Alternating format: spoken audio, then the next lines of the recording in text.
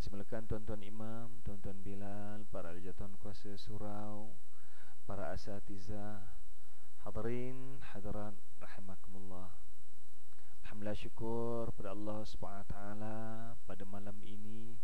Ini malam yang ke berapa? Syawal? Dah habis kan? Saja tanya Syawal sebab esok masih ada lagi rumah terbuka hari Ahad pun ada rumah terbuka. Orang Malaysia ni tak cukup sebulan sambut raya. Saya nak ucap selamat raya dah lepas raya dah. Alhamdulillah syukur pada Allah SWT Allah memberikan kesempatan kita untuk terus berada. Dah habis bulan Ramadan, habis bulan Syawal, masuk bulan Zulqa'edah eh, Tak lama lagi raya haji pula Bulan Zulhijjah Syukur pada Allah SWT Allah masih lagi beri peluang kita bernafas di muka bumi ini. Moga-moga waktu-waktu yang ada yang akan ditanya oleh Allah SWT La tazulu qadama abdin yawmal qiyamati hatta yus'ala an arba'in. Manusia di akhirat nanti tidak akan terlepas Daripada empat perkara ini. Setelah melainkan mereka Setelah menjawab ditanya empat perkara ini antaranya ialah tentang wa'an umurihi fi tentang umurnya. Bagaimana dia habiskan. Tuan-tuan tuan sekalian waktu-waktu yang Allah berikan kita berada di muka bumi ini adalah modal yang kita perlu gunakan untuk kita melakukan amal soleh sebanyak mungkin agar rahmat Allah diberikan pada kita. Moga-moga rahmat Allah SWT diberikan pada kita untuk kita mendapat rahmat di dunia dan akhirat seterusnya syurga Allah Subhanahu taala. Amin amin ya rabbal alamin.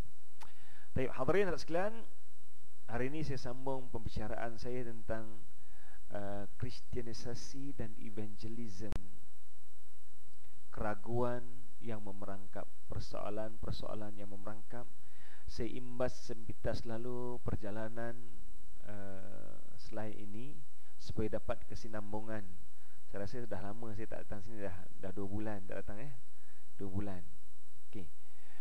Uh, Allah SWT menjelaskan dalam surah Al-Baqarah Walan tarda ankal yahudu walan nasara hatta tattabi'a millatahum Orang Yahudi dan orang Kristian tidak akan reda pada kamu Hinggalah kamu ikut telunjuk mereka. Hinggalah kamu ikut aturan mereka. Hinggalah kamu ikut percaturan mereka. Hinggalah kamu ikut apa yang mereka mahukan.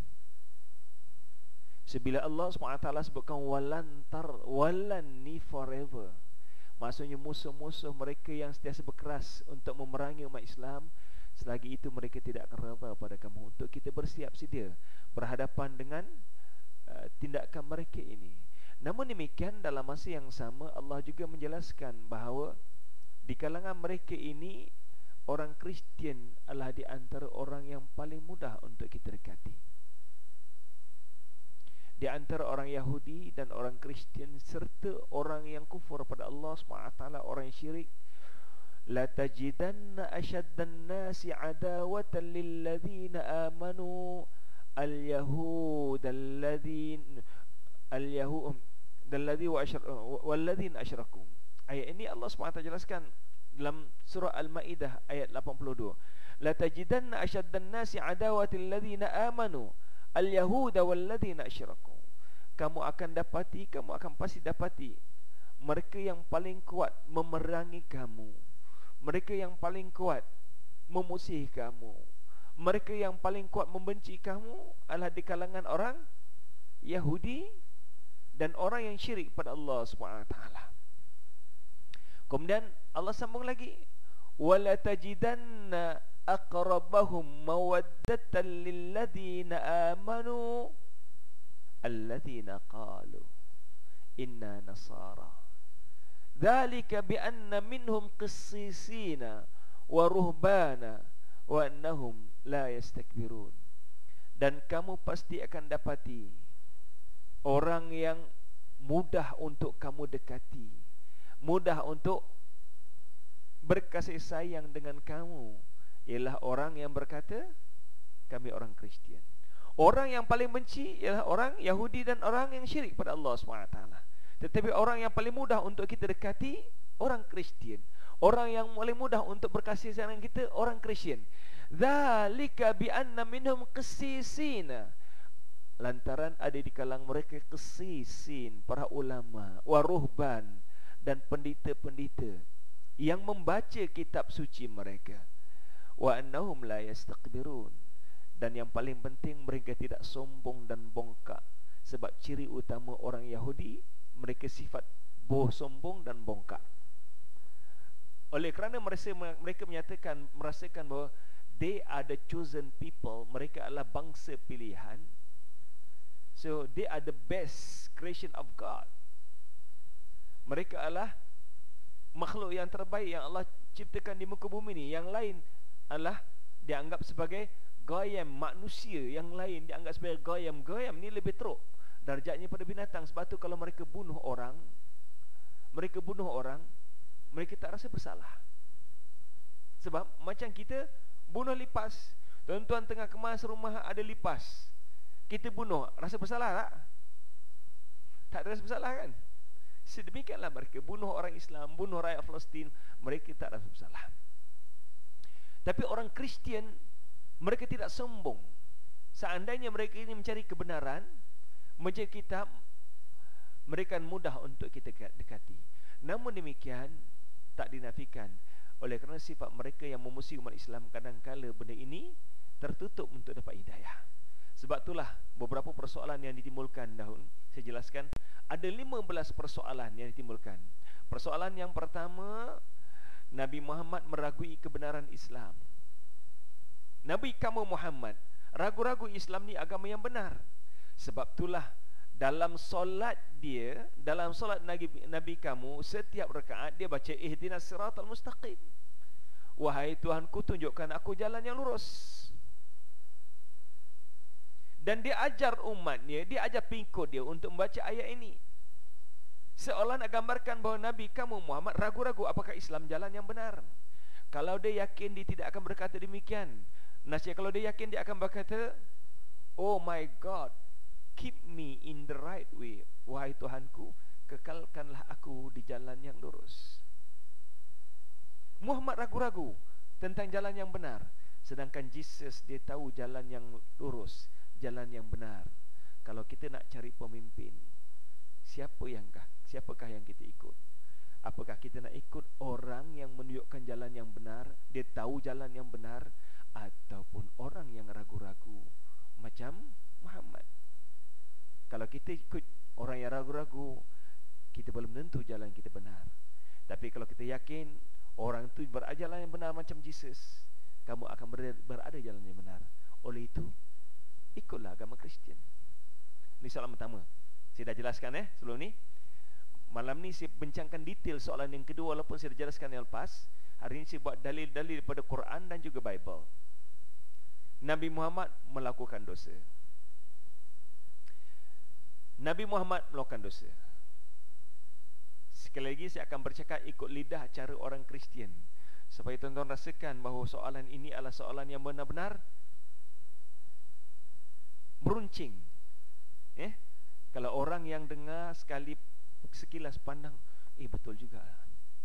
Wahai orang Islam dalam kitab kamu Al-Quran surah Muhammad ayat yang ke-19 berbunyi fa'lam annahu la ilaha illallah fa'lam annahu la ilaha illallah ketahuilah wahai Muhammad annahu sungguhnya tiada tuhan yang disembah melainkan Allah. Tetapi ayat yang berikutnya wastaghfir lidzambik bertaubatlah kamu ke atas kesalahan-kesalahan yang telah kamu lakukan. Ayat ini cukup jelas. Tuhan kamu memerintahkan nabi kamu untuk bertaubat. Fastaghfir lidzambik bertaubatlah kamu wahai Muhammad di atas kesalahan-kesalahan kamu. Walil mu'minina wal mu'minat. Dan juga mohon keampunan untuk orang mukmin dan orang mukminat wallahu ya'lamu mutaqallabakum wa mathwaakum. Sungguhnya Allah Maha mengetahui gerak-geri kamu di dunia dan bagaimana kamu kembali di akhirat nanti. Surah Muhammad ayat ke-19 menjelaskan Nabi kamu Muhammad confirm berdosa. Sebab itu Allah perintahkan dia bertaubat. Kalau Nabi kamu Muhammad tidak berdosa, Tuhan kamu tidak akan perintahkan dia bertaubat. Fastaghfir li dhanbi. Ayat yang cukup jelas. Nabi kamu berdosa. Sedangkan Jesus tidak melakukan kesalahan. Dalam Al-Quran ada beberapa ayat menyatakan kesalahan yang dilakukan oleh Nabi kamu Muhammad. Eh? Malam ni saya petik beberapa ayat dalam Al-Quran yang menjelaskan Nabi kamu Muhammad melakukan kesalahan.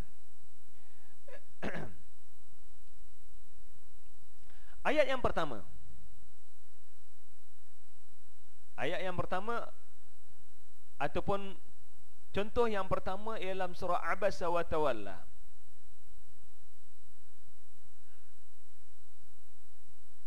Ini dia ayatnya.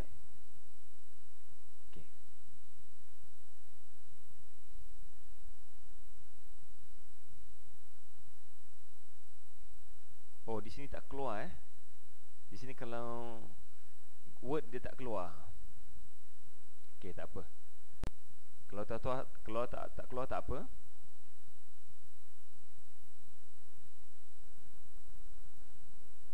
Tapi kesalahan pertama yang boleh kita ambil. Kesalahan yang pertama, contoh yang pertama yang boleh kita ambil ialah ketika mana Nabi Muhammad SAW berada bersama dengan pemimpin-pemimpin Quraisy sibuk berdakwah dengan pemimpin Quraisy. Nabi kamu Muhammad berharap kalau mereka masuk memudahkan jalan untuk mengembangkan Islam. Islam lagi tidak akan lagi terganggu. Namun di kala itu datang seorang yang bernama Abdullah bin Maktum, dia buta. Di antara orang yang awal masuk Islam. Tapi dia buta. Dan dia tidak tahu Nabi Muhammad tengah sibuk berdakwah pada orang kafir Quraisy. Kedatangan Abdullah bin Maktum nak minta Nabi ajar beliau beberapa perkara. Tapi datangnya Abdullah bin Maktum itu disambut dengan masam, muka yang masam dan Nabi Muhammad berpaling muka. Oleh itu Allah Allah tegur Nabi Muhammad, abasa wa tawalla an ja'ahu al-a'ma wa ma yudrika la'allahu yazzakka aw yadhakkaru fatanfa'ahu dhikra. Amma man istaghna fa anta lahu tasadda wa ma 'alayka alla yazzakka wa amma man ja'aka yas'a wa huwa yakhsha fa anta anhu talaha. Abasa wa tawalla. Kamu wahai Muhammad bermasam muka dan berpaling muka. Abasa berpaling muka, bermasam muka. Wa tawalla dan bermasam muka. Apabila datangnya Abdullah bin Maktum kepada kamu anja'ahul ma'ma dikala mana datang orang yang buta iaitu bin Maktum. Nabi Muhammad masam Abdullah Maktum tak nampak. Jadi ketika mana Nabi Muhammad masam muka dan berpaling, Abdullah tak tahu. Tapi Allah jelaskan kat sini. Au yadhakkaru fatan dzikra. Tahukah kamu wahai Muhammad barangkali dia datang ingin untuk membersihkan dirinya pada dosa ataupun mendapat pengajaran kemungkinan pengajaran itu baik untuk beliau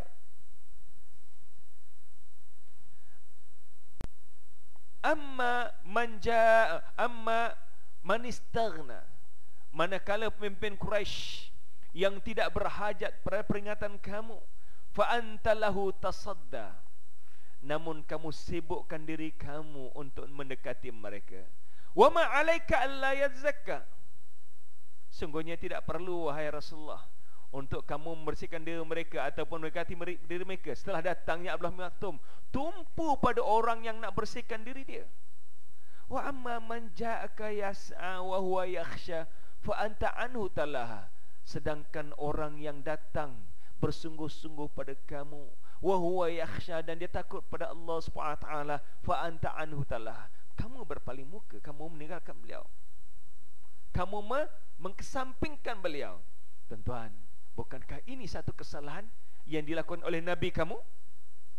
Yang kedua, contoh yang kedua, kematian Abu Talib yang telah menjaga Nabi bertahun-tahun Sehinggalah ketika itu Nabi Muhammad berumur 50 tahun. Abu Talib tinggal bersama dengan Nabi kamu. Ketika mana Nabi kamu masih kanak-kanak lagi umur 8 tahun. Tapi di saat Abu Talib meninggal, Nabi kamu datang di sisinya, mengajak beliau untuk beriman. Mengajak beliau untuk beriman. Ya ammi kul la ilaha illallah kalimatun uhajju laka biha indallah. Wahai pamanku wahai pakcikku ucapkanlah kalimah la ilaha illallah. Kalimah yang boleh aku gunakan hujah depan Allah untuk memberikan syafaat pada kamu. Namun Abu Talib enggan. Seraya berkata wahai Muhammad teruskanlah dakwahmu. Aku akan tetap bersama dengan agama nenek moyangku. Lalu nabi kamu berkata la astaghfiranna laka malam malam anhu ank.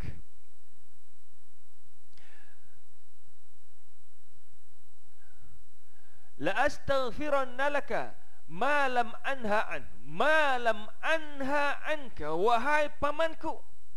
Aku akan terus berdoa untuk kamu malam anha ank. Selagi mana aku tidak Selagi mana aku tidak ditegah oleh Allah untuk melakukan demikian. Maksudnya Abu Talib yang mati dalam kafir Confirm menjadi ahli neraka. Nabi Muhammad doakan untuk dia Agar Allah ampunkan dosanya. Turun ayat Quran Dalam surah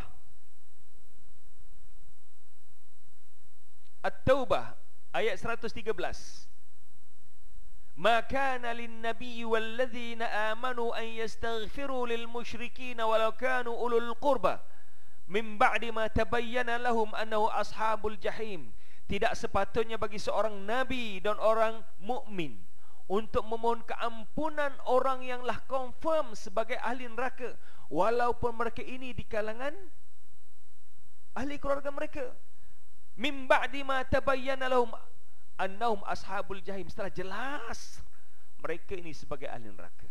Bukankah teguran Allah pada Nabi Muhammad itu sebagai satu kalah kesalahan? Yang ketiga Nabi Muhammad ada seorang anak angkat yang bernama Zaid bin Harithah. Satu ketika Nabi Muhammad declare pada orang ramai bermula pada hari ini bukan Zaid bin Harithah tapi Zaid bin Muhammad dan selepas peristiwa ini orang Arab Mekah memanggil Zaid bin Muhammad, Zaid anak Muhammad, Zaid anak Muhammad. Apabila Rasulullah SAW menjadi nabi, turun ayat menegur nabi, ya. Dalam surah Al-Ahzab surah Al-Ahzab ayat 4 hingga 5. Wa ma ja'ala ad'iyaakum abna'akum dhalikum qawlukum bi afwahikum wallahu yaqulul haqq wa huwa yahdis sabil. Dan janganlah kamu jadikan anak-anak angkat kamu sebagai anak kandung kamu. Jangan binkan pada diri kamu sendiri. Zalikum qaulukum bi afwahikum. Itulah dakwaan dengan mulut-mulut kamu sendiri. Wallahu yaqulul haqq. Sedangkan Allah berkata benar. Wa huwa yahdis sabil. Dan Allah menunjukkan jalan yang benar Ud'uhum li'abaihim huwa aqsatu indallah. Panggillah diri mereka dengan dibinkan bapa-bapa mereka. Itu lebih adil untuk mereka. Allah tegur Nabi Muhammad. Selepas peristiwa ini, Rasulullah keluar. Lalu berkata, bermula hari ini bukan Zaid bin Muhammad, tapi Zaid bin Harithah. Contoh yang keempat, tawanan badar tawanan badar apabila berlakunya peperangan yang pertama umat Islam mencapai kemenangan. Lebih kurang 73 tentera kafir terbunuh dan 70 tawanan perang. Ini peperangan kali pertama. Umat Islam tak tahu nak buat macam mana pada tawanan perang. Kalau orang Arab dulu orang yang ditawan bunuh. Jadi umat Islam ni peperangan yang pertama. Nak buat macam mana? Lalu Rasulullah SAW memanggil para sahabat. Sama ada golongan ansar maupun golongan muhajirin. Wahai sahabatku kita ada tawanan perang 70 orang. Apa yang kita nak buat? Lalu Abu Bakar berkata Ya Rasulullah Sungguhnya mereka ini punya ikatan dengan kita. Setengahnya adalah bapa-bapa kita Anak-anak kita Saudara-saudara kita Seandainya kita bunuh mereka Kita bunuh Saudara kita sendiri Kita bunuh ayah kita sendiri Kita bunuh anak-anak kita sendiri Kita bebaskanlah mereka dengan mengambil tebusan. Moga-moga kita mendapat, mereka mendapat petunjuk. Ini cadangan Abu Bakar. Abu Bakar seorang yang hatinya lembut. Kemudian Omar bangkit. Omar kata aku tak setuju Ya Rasulullah Saya tak setuju dengan pandangan Abu Bakar. Tawanan perang adalah musuh Allah dan musuh Rasulullah. Ya Rasulullah mereka pernah menganiaya kamu wahai Rasulullah. Walaupun mereka punya hubungan kekeluargaan tetapi mereka adalah ketua-ketua kafir dan musyrik. Mereka tidak layak untuk hidup sebab seandainya kita membebaskan mereka satu hari nanti mereka akan memerangi kita kembali. Bunuh mereka. Ini cadangan Abu Bakar Sayyidina Umar Rasulullah bertanya pada Sa'ad Wahai Sa'ad apakah pandangan kamu? Sa'ad kata aku setuju dengan pandangan Umar Aku setuju dengan pandangan Umar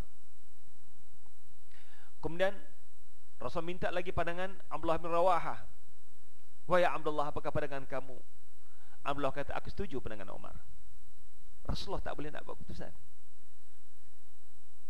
Ya, Rasulullah nak, tak boleh nak buat keputusan. Namun demikian Akhirnya Rasulullah SAW Setelah selang beberapa hari eh, Selang eh, tak lama lepas tu Rasulullah SAW membuat keputusan Untuk bebaskan mereka Dengan syarat mereka bayar tebusan. Sekiranya mereka tak mampu untuk bayar mereka ada ilmu boleh mengajar anak-anak 10 orang hinggalah pandai cadangan Abu Bakar diterima. Namun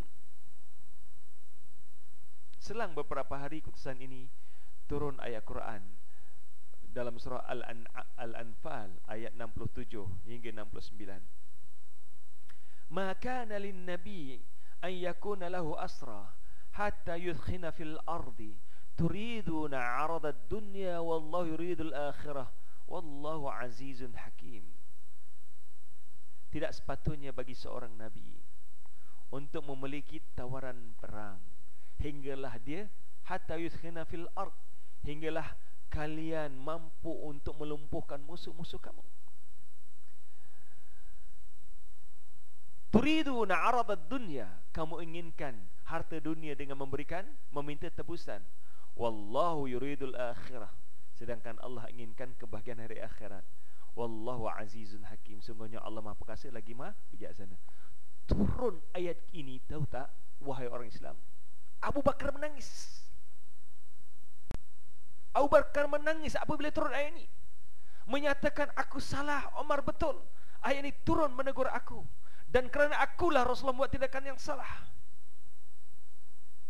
Sebab itulah tuan-tuan Kadang kita hidup bermasyarakat ni Kita jadi AJK surah, AJK masjid Kalau kita ada pandangan Lepas mesyuarat Orang tak terima pandangan kita Kita kena ucap syukur pada Allah SWT Sebab takut-takut pandangan kita Syukur kalau takut pandangan kita ni salah Orang ikut Orang akan ikut kesalahan kita. Tetapi kalau pandangan kita diterima kita kena banyak beristighfar. Sebab takut-takut kesalahan itu orang terima pandangan kita ramai terjebak dengan kesalahan. Tapi berapa ramai di kalangan kita bila mesyuarat pandangan tak diterima merajuk. Ya. Sangka dia je yang paling pandai kan? Orang lain salah dia je betul orang lain tak betul. Kita tak tak boleh menerima tasamuh kat sini. Nampak kita je betul yang lain salah. Ini kalau kita sama umat Islam Hormat other Okey Balik pada Kali ini Contoh yang kelima Contoh yang terakhir. Contoh yang terakhir. Nabi Muhammad Selalu minum madu di rumah Zainab binti Jahsh.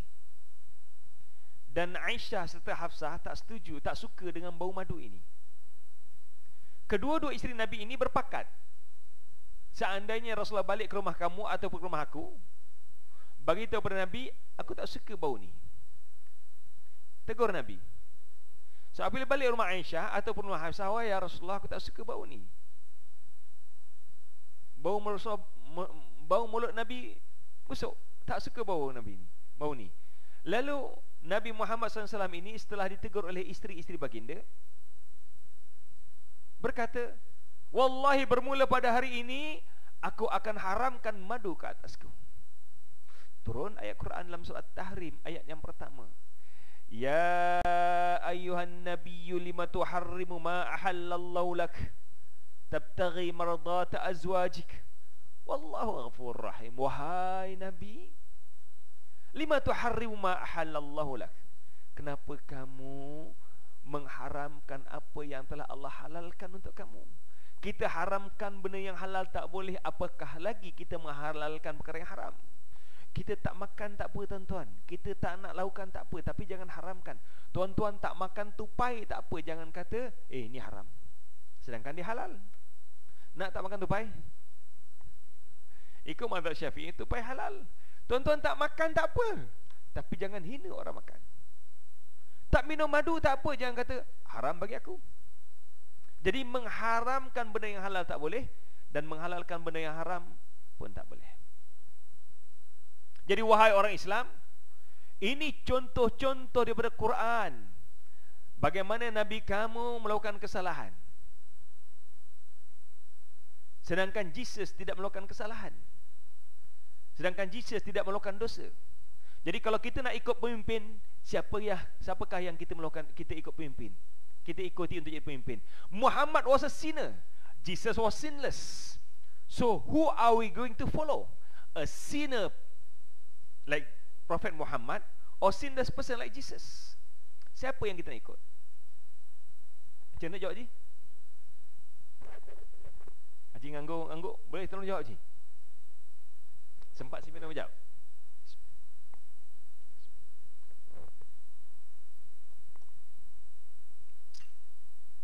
Baik tuan-tuan Saya cuba berhenti jam 9 ya Sebelum jam 9 saya berhenti Saya ada masa lebih kurang dalam 25 minit Ataupun 20 minit.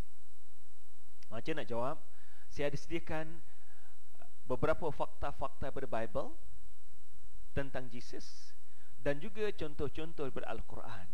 Boleh kita ambil. Kita tidak nafikan Nabi kita Muhammad pernah melakukan kesalahan. Terlalu banyak contoh-contoh yang kamu berikan Semuanya betul. Dan we never deny. Kita tidak pernah menafikan ini di antara kesalahan-kesalahan yang Allah tegur Nabi Muhammad banyak lagi kesalahan yang Nabi Nabi lakukan. Yang Allah tegur. Jadi persoalannya wahai orang Kristian persoalannya yang pertama ialah kami menerima ini kesalahan Nabi Muhammad. Tapi persoalan persoalan yang kedua ialah apakah kamu beriman dengan nabi-nabi ini? Apakah kamu beriman dengan Nabi Adam? Apakah kamu beriman dengan Nabi Ibrahim yang menjadi bapa pada tiga agama, agama Yahudi, agama Kristian, agama Islam? Apakah kamu beriman dengan Nabi Yunus? Dalam kitab kamu ada the book of Jonah, kitab Yunus, Nabi Yunus. Apakah kamu beriman dengan Nabi Nuh yang kamu panggil Noah? Oh, keturunan yang ada inilah keturunan Nabi Nuh alaihissalam. Apakah kamu percaya pada Nabi Musa alaihissalam? Nascaya tuan-tuan Kalau kita tanya demikian kita, Mereka akan menjawab Ya yeah, we believe They are the prophet of God. Kami percaya mereka adalah Nabi-Nabi yang telah Tuhan antar, antar ke muka bumi ini. Itu jawapan mereka. Mereka tidak menafikan Ini adalah para ambiak yang mereka imani. Sekiranya orang Kristian dan orang Yahudi tidak beriman dengan para ambiak ini Mereka tidak boleh dianggap sebagai orang Kristian dan orang Yahudi Namun demikian wahai orang Kristian persoalannya Kesemua para ambiak Lima orang yang disebutkan tadi Nabi Adam, Nabi Ibrahim, Nabi Nuh, Nabi Yunus, Nabi Musa Tercatat dalam kitab-kitab kamu Mereka semua melakukan kesalahan. Contoh yang paling besar ialah Nabi Adam AS Nabi Adam dalam kitab kamu dalam Al-Quran juga menyatakan bahawa Nabi Adam melakukan kesalahan makan buah yang Tuhan larang. Tuhan kamu larang, tapi Adam makan buah yang Allah larang. sehinggalah Adam diturunkan ke muka bumi ini. Kalau ikut ajaran Islam, Nabi Adam bertaubat, fatalaqa Adamu min rabbih kalimatin. Nabi Adam bermunajat pada Allah SWT dengan menuturkan kalimat-kalimat. Apakah kalimat ini tidak dijelaskan dalam ayat tersebut? Namun ia dijelaskan dalam ayat yang lain. Ini namakan tafsir bil ma'thur, tafsir Quran dengan ayat Quran. Ayat ini menjelaskan fatalaqa Adamu min rabbih kalimatin. Nabi Adam bermunajat pada Allah SWT mohon keampunan dengan mengucapkan kalimat-kalimat. Ayat ini tidak dijelaskan apakah kalimat itu, tetapi ia dijelaskan dalam ayat yang lain. Tafsirul Ma'thur, tafsir Quran dan Quran dan kalimat itu ialah Rabbana zalamna anfusana wa illam taghfir lana wa tarhamna lanakunanna minal khasirin. Ya Allah ya Tuhanku, sungguhnya kami telah menzalimi diri kami sendiri. Wa illam taghfirna ya Allah andai kata tidak kau ampunkan dosa-dosa kami, lanakunanna minal khasirin. Nasya kami akan tergolong bersama dengan golongan orang yang rugi.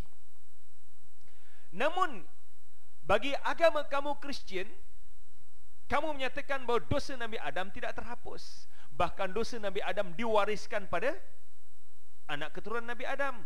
Meaning to say that you confirm that our father, father Adam already committed sin. And the sin is not forgiven.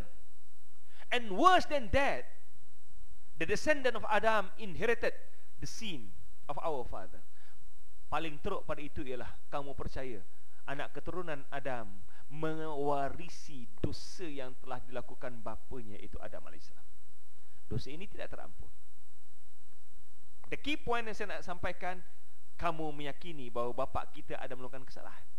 Yang kedua, Nabi Nuh. Apa dia kesalahan Nabi Nuh? Kesalahan Nabi Nuh Allah tegur dalam Al-Quran. Antara kesalahan Nabi Nuh AS apa dia? Antara kesalahan Nabi Nuh AS ialah apabila banjir besar berlaku Nabi Nuh menyuruh anaknya, "Ya bunayya arkam ma'ana wa la takum minal kafirin." Wahai anakku, naiklah kapal ini. Jangan bersama dengan orang kafir sebab tidak ada yang selamat melainkan orang yang dalam kapal. Anaknya terus enggan. Tidak mau turut pada perintah ayahnya. Sa'awi ila jabali ya'simuni minal ma' wahai ayahku. Aku akan daki bukit ini untuk menyelamatkan aku daripada air yang ada ini. Di kala mana Nabi Nabi Nuh AS mengajak anaknya naik kapal dan anaknya enggan mereka terus berbicara wahala bainahuma maujun fakana minal maghraqin datang ombak lalu menghempap anaknya lalu anaknya mati dalam keadaan kufur pada Allah Subhanahu taala. Lemas mati lemas. Nabi Nuh sedih dengan kematian anaknya dalam keadaan kufur lalu dia mengadu pada Allah Subhanahu taala. Mengadu pada Allah Subhanahu Innahu bni wahai Allah ini anakku. Dan janji janjimu Kamu akan menyelamatkan ahli keluargaku. Ini anakku.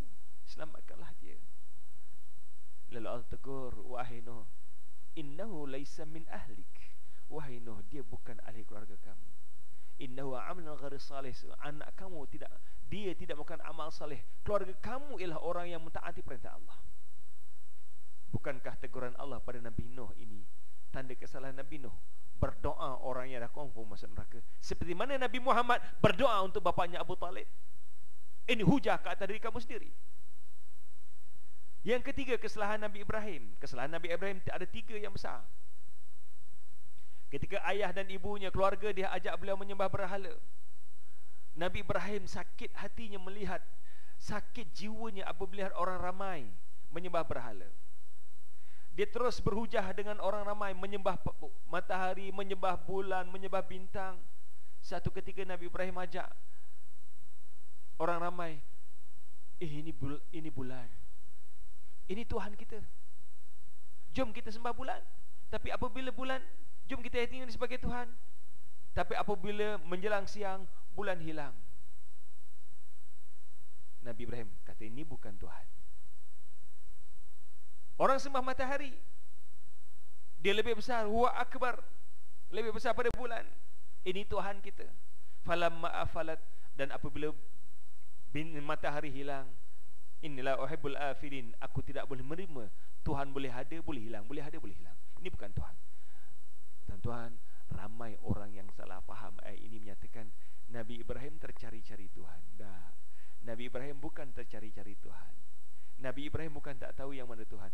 Nabi Ibrahim nak gunakan hujah orang Wahai orang ramai Kalau kamu kata bulan ni Tuhan. Cuba tengok. Bulan kejap ada, kejap tak ada. Eh tak mungkin jadi Tuhan Kalau kamu sembah matahari Ia matahari ada kuasa memberikan panas. Ia besar lagi tu daripada bulan. Tapi bila menjelang malam Matahari tidak ada. Bagaimana kalau matahari tidak ada Tuhan kamu tidak ada? Malam siapa kamu nak minta pertolongan? Jadi matahari bukan Tuhan. Bukan Nabi Ibrahim ragu-ragu mana Tuhan tuan-tuan. Nabi Ibrahim nak gunakan hujah mereka. Ini bukan Tuhan. Namun mereka tetap menyembah berhala Menyembah matahari Menyembah bulan Ketika mana dia ajak untuk menyembah berhala Nabi Ibrahim berkata Ini sakimun Aku sakit. Aku tak boleh pergi aku sakit. Sedangkan Nabi Ibrahim tak sakit. Jadi Nabi kamu beribrahim tak pun berbohong? Bukankah satu pembohongan? Sedangkan dia tak sakit? Namun para ulama semuanya menafsirkan Nabi Ibrahim bukan bohong. Nabi Ibrahim nak aku sakit hati sebenarnya. Jiwa aku sakit, hati aku sakit. Kenapa kamu menyembah berhala? Pembohongan yang kedua, ikut pandangan kamu wahai orang Kristian. Di kala mana Namrud dan pemimpinnya menangkap Nabi Ibrahim.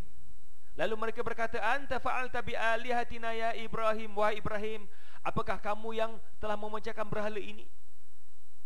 Lalu Ibrahim Nabi Ibrahim berkata, "Bukan aku. Tengoklah berhala yang besar tu, dia yang buat."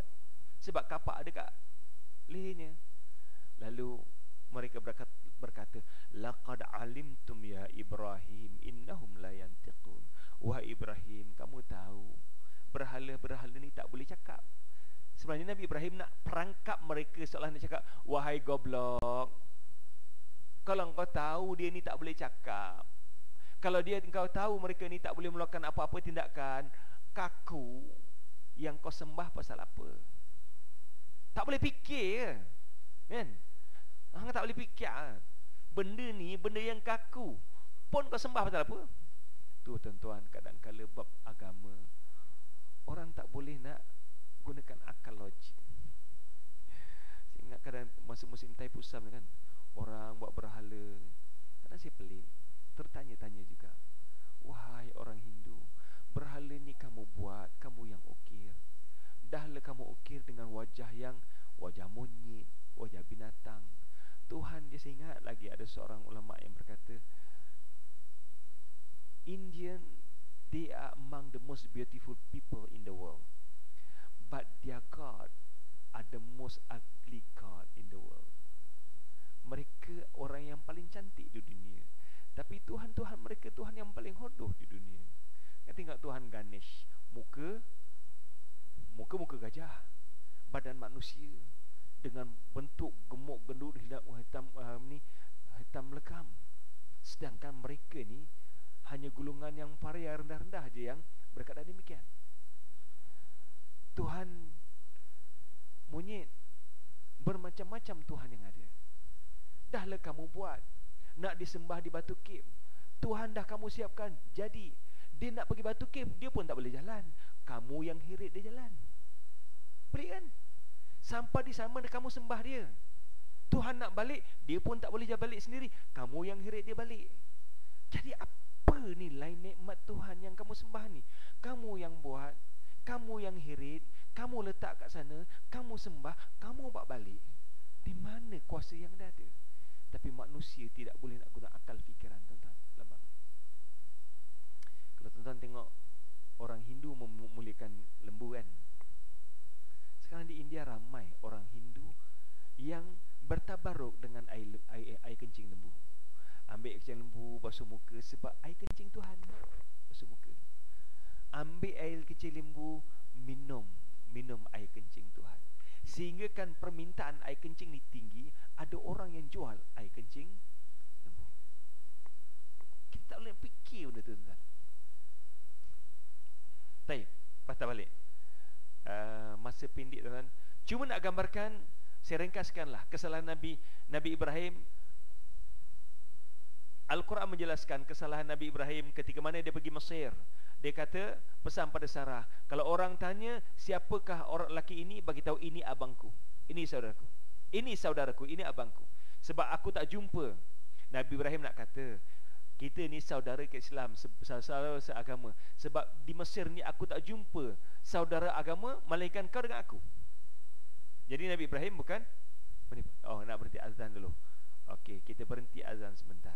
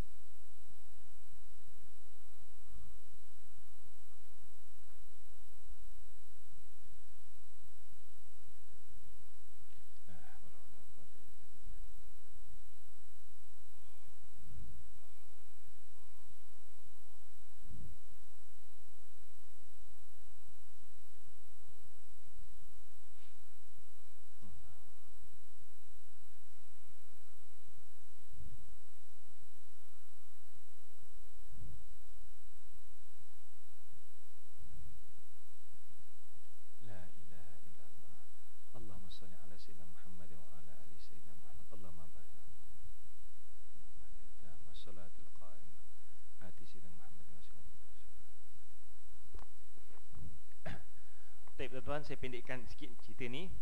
Kesalahan Nabi Yunus AS dalam Bible ada kitab yang dinamakan kitab The Book of Jonah. Dalam bahasa Inggeris panggil Jonah. The Book of Jonah. Yang mereka percaya bahawa Nabi Yunus pun Allah berikan kitab wahyu The Book of Jonah. Dalam Islam kita ada surah Yunus. Dan ceritanya sama dalam Al-Quran dalam Bible. Kesalahan Nabi Yunus ketika mana diperintahkan oleh Tuhan kamu untuk berdakwah di Ninawah satu tempat yang berada di Iraq bernama Ninawa. Nabi Yunus meninggalkan kaumnya ataupun uh, madu'unya sebelum Allah perintahkan dia meninggalkan. Lalu Allah denda ataupun hukum Nabi Yunus dengan ditelan oleh ikan sehingga berada dalam ikan perut ikan selama 40 hari. Dalam Al-Quran disebutkan doa Nabi Yunus AS. Apa doa Nabi Yunus? La ilaha illa anta subhanak inni kuntu minaz zalimin Sehinggalah Nabi Yunus dikeluarkan di perut ikan. Saya terpaksa pendekkan cerita tuan-tuan sebab dah lewat malam. Yang kelima kesalahan Nabi Musa alaihissalam. Kesalahan Nabi Musa jelas clear. Dia tumbuk orang keti yang bergaduh dengan Bani Israel cuba untuk relaikan tapi orang keti tak terima tumbuk orang tu mati. Yang penting walaupun dia dia tak sengaja tapi orang tu mati. So bukan ini satu kesalahan. Persoalan yang timbul ialah sekiranya kamu boleh menerima mereka ini semua nabi-nabi kamu. Dan yang kedua, mereka ini semua melakukan kesalahan dan kamu akui mereka buat salah dan kitab kamu mengakui mereka buat salah. So what is the problem if our prophet Muhammad SAW buat salah? Sedangkan nabi kamu juga buat salah. Cuma bezanya para anbiya adalah maksum. Dan maksum maksumnya para anbiya dalam tiga bentuk. Yang pertama, mereka maksum berarti mereka tidak melakukan kesalahan langsung. Kita tidak ada contoh yang ni tuan-tuan. Siapakah nabi yang tidak melakukan kesalahan langsung? Walaupun orang Kristian mendakwa Jesus tidak pernah melakukan kesalahan, Jesus was sinless. But I can prove it to you that Bible mention Jesus was a sinner. Number two, kesalahan dilakukan sebelum kenabian. Seperti contoh Nabi Musa AS. Dia bunuh orang tu sebelum kenabian. Nabi Muhammad bin Kanzaid bin Harisah sebelum kenabian. Yang ketiga, kesalahan dilakukan selepas kenabian. Tetapi kesalahan itu ditegur oleh Allah SWT immediately. Hinggalah mereka bertaubat pada Allah dan Allah ampunkan dosa mereka. Tuan-tuan, tuan-tuan, tuan-tuan yang ada kat sini. Mungkin ada yang umur 20-an, 30-an, 40-an, 50-an. Saya dah 51 tahun. Ada yang 60-an, ada yang masuk 70. Saya yakin di kalangan tuan-tuan tahu kita berdosa. Betul ke betul? Kita pernah buat dosa Tapi apabila kita buat dosa Ada Allah perbetulkan kita Ada turun wahyu betulkan kita Tak ada kan Para ambiya Allah tegur dan Allah perbetulkan Hingga ada di kalangan kita yang tuan Yang seronok buat dosa Para ambiya sekali buat dosa Mereka terus bertaubat pada Allah SWT Sebab itulah mereka maksum Dan seterusnya I want to prove I want to prove it to you That Bible mention Jesus committed sin. Saya tidak menyatakan Nabi Isa melakukan kesalahan ya. Saya tidak menyatakan Nabi Isa berdosa. Tetapi I just want to reconfirm to you your holy book mention not myself. So your holy book Bible mention number one Jesus minta ampun pada kesalahan dia sendiri. Jesus mohon ampun di atas dosa dan kesalahannya. Kita boleh re- refer pada Matthew chapter yang ke-6 ayat 9 hingga 13. Bapa kami di syurga dikuduskan namamu. Datanglah kerajaanmu. Jadilah kendakmu di bumi seperti syurga. Berikanlah kami pada hari itu makanan kami yang secukupnya.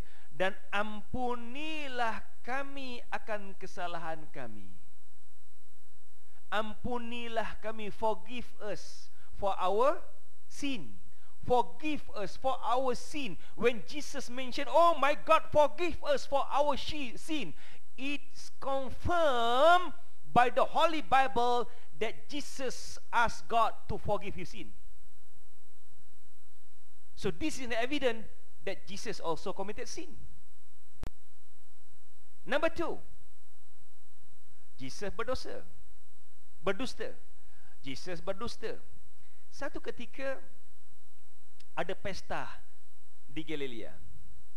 Dan orang ramai kawan-kawan dia ajak dia untuk pergi pesta. Tapi Jesus kata, kamu pergilah. Ya. Tuan-tuan boleh rujuk pada John chapter yang ketujuh ayat 8 hingga 10. Saya bacakan ini. Pergilah kamu ke pesta itu.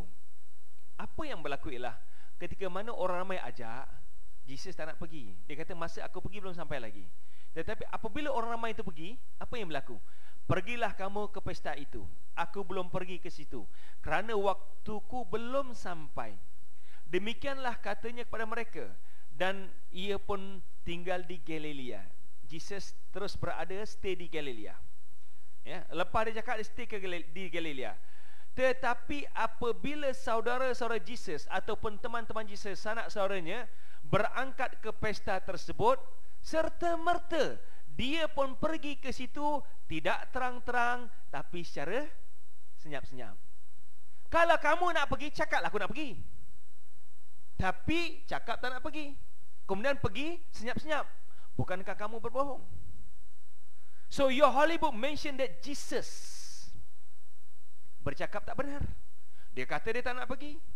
Tapi bila kawan-kawan dia pergi, dia pergi senyap-senyap supaya orang tak tahu yang dia pergi. Number three. Jesus tak cakap benar. Ketika mana ada orang yang dirasa oleh jin. Lalu teman-teman dia, sahabat dia bertanya, kenapa kita tidak mampu untuk menghalau jin ini? Kenapa kita tidak mampu untuk menghalau jin ini? Lalu Jesus berkata, sebab iman kamu tak cukup. Kamu tidak ada iman. Seandainya kamu ada iman walau sebesar sawi, nascaya mereka akan mampu untuk mengalihkan. Nabi, Nabi Jesus berkata, andai kata kamu ada iman walau sebesar biji sawi, kamu bukan hanya boleh menghalau jin, kamu boleh alihkan gunung ganang ini ke arah mana yang kamu nak. Kamu boleh rujuk pada Matthew chapter 17 ayat 19 hingga 20. Kemudian murid-murid Jesus datang dan ketika mereka sendirian dengan dia bertanya pada mereka, "Mengapa kami tidak dapat mengusir setan?" Ia berkata padanya, "Kerana kamu kurang percaya, sebab aku berkata kamu, sebab aku berkata kepadamu, sesungguhnya sekiranya kamu mempunyai iman sebesar biji sawi sahaja, kamu dapat berkata pada gunung ini, pindahlah dari tempat ini ke sana maka gunung akan pindah dan takkan ada yang mustahil bagi kamu. Persoalan yang timbul ini kenyataan Jesus dalam Bible. Sekiranya kamu ada iman walau sebesar biji sawi kamu akan ada kuasa untuk memindahkan gunung ikut mana arah yang kamu nak. Berapa ramai orang Kristian yang ada iman? Berapa ramai padri-padri yang ada? Pop yang ada yang diagung-agungkan siapakah di kalangan mereka yang boleh mengarahkan untuk gunung pindah ke tempat yang dia nak? None of them dan tak pernah berlaku. Berarti kenyataan ini tak pernah tak betul. Tidak pernah berlaku ada di kalangan pengikut-pengikut Jesus yang mampu memindahkan gunung sedangkan ayat ini menyatakan bahawa andai kata kamu ada iman walau sebesar zarah walau sebesar biji sawi sedangkan kamu ramai padri-padri kamu ramai pemimpin-pemimpin Kristian kenapa tidak ada seorang pun yang mampu memindahkan gunung ganang ini? Apakah mereka semua tidak beriman ataupun Jesus yang tak cakap benar. Ikut Bible kamu. Contoh yang keempat. Jesus seorang yang derhaka pada ibu dia. Jesus seorang yang derhaka pada ibu dia. Kenapa saya kata derhaka? Ya. Satu ketika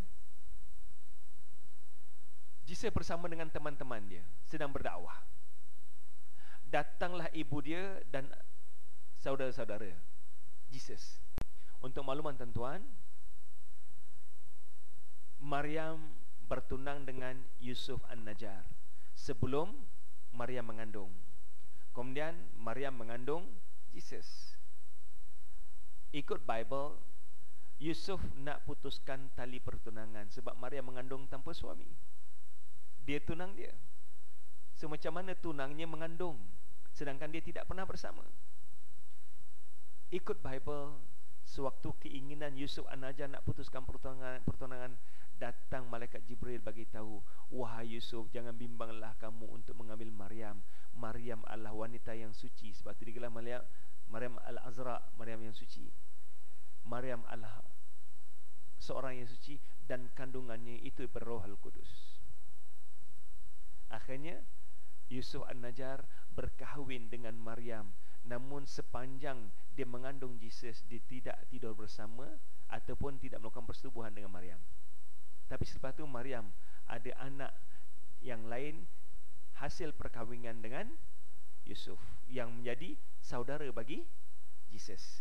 So ayat ini menjelaskan bahawa ketika mana Jesus sibuk berdakwah datang ibunya Maryam dan adik-beradiknya yang lain. Ketika Maryam memanggil beliau nak jumpa Jesus, saya baca sini, ketika Jesus masih berbicara dengan orang banyak, ibu dan saudara-saudaranya berada di luar dan berusaha untuk menemui beliau. Maka berkata kepadanya, lihatlah ibumu dan saudaramu di luar berusaha untuk menemui engkau. Ketika itu, Jesus tak layan maknya datang. Tetapi apa yang Jesus jawab? Kepada orang yang menyampaikan berita, mak dia kat luar tau. Contohlah saya kat sini tuan-tuan. Saya tengah bagi ceramah. Kalau mak saya datang, saya minta izin tuan-tuan, mak saya datang. Saya nak jumpa mak saya. Ayah saya datang ada kalau nak jumpa saya. Minta izin ni keluar. Saya akan cakap macam itu. Tapi Jesus terus sibuk bercakap. Dan apabila orang bagi tahu why Jesus, ibu kamu di luar, saudara kamu di luar nak jumpa kamu. Lalu Jesus berkata, Siapakah ibuku? Siapakah saudara-saudaraku? Lalu dia berkata dengan menunjukkan ke arah murid-muridnya, Inilah ibuku, inilah saudaraku Iaitu orang yang beriman dengan aku. How could A pious son So bagaimana seorang anak yang Bertakwa Yang warak Boleh berkata pada ibunya Untuk ibunya Ini bukan ibu aku. Ibu aku ialah orang bersa- Ni depan aku yang beriman ni. Itu bukan ibu aku Itu bukan saudaraku sedangkan mereka berada di luar. Islam mengajar wasahib huma fid dunya ma'rufa. Berbuat baik pada ibu kedua, ibu bapa kamu. Last sekali tuan-tuan ya, last sekali. Dalam Bible menyatakan bahawa Jesus adalah seorang penipu. Dan perkara ini amat aneh, amat pelik. Bible menyatakan bahawa Jesus seorang penipu. Sebagaimana kata Jesus dalam John chapter yang kelima ayat 31, if I bear witness of myself, my witness is not true. If I bear witness of myself, sekiranya aku bersaksi atas diriku sendiri, persaksian ke atas diriku adalah persaksian yang palsu. Wahai orang Kristian. Dalam Bible sendiri menyatakan bahawa kitab kamu Bible sendiri menyatakan bahawa Jesus melakukan kesalahan. How could you say that Jesus was sinless? Whereby I could prove from the Holy Bible that Jesus himself commit a mistake. Cumanya kami orang Islam, kami tetap mengakui bahawa kemungkinan Nabi-Nabi melakukan kesalahan tetapi mereka adalah maksum sebab kesalahan itu diperbetulkan oleh Tuhan. Cuma kamu yang tidak menerima Jesus melakukan kesalahan dan kamu menyalahkan Nabi Muhammad melakukan kesalahan sedangkan semua para anbiya melakukan kesalahan-kesalahan ini diampunkan oleh Allah SWT. Wallah alam. Jadi ini jawapan yang kedua tuan-tuan dah kelajak jauh. Uh, saya dah sediakan jawapan-jawapan yang panjang. Tuan-tuan doakanlah saya mampu untuk menghabiskan uh, tulisan ini menjadi sebuah buku. Boleh jadikan rujukan bersama insya-Allah. Wallah alam sawa aku aku lupa lihada wa astaghfirullahalazim lakum. Uh, sebenarnya hari terakhir Syawal hari ini dah menjelang maghrib tak ada lagi Syawal. Saya mohon maaf kelemahan kesalahan ada. Saya rasa saya dah berada di sini hampir 4 tahun ya. Hampir 4 tahun. Kalau tersilap salah terkasar bahasa slip of tongue kesalahan yang ada saya mohon maaf. Moga-moga hidup kita berkati rahmati oleh Allah SWT kita akhiri majlis majlis tasif farah Rasulullah subhanakallah wa bihamdika bismillahirrahmanirrahim. Wal asr. Innal insana la fi khusr illa alladhina amanu wa amilus salihat wa tawasaw bil haqq wa tawasaw bis sabr. Assalamu ورحمة الله وبركاته.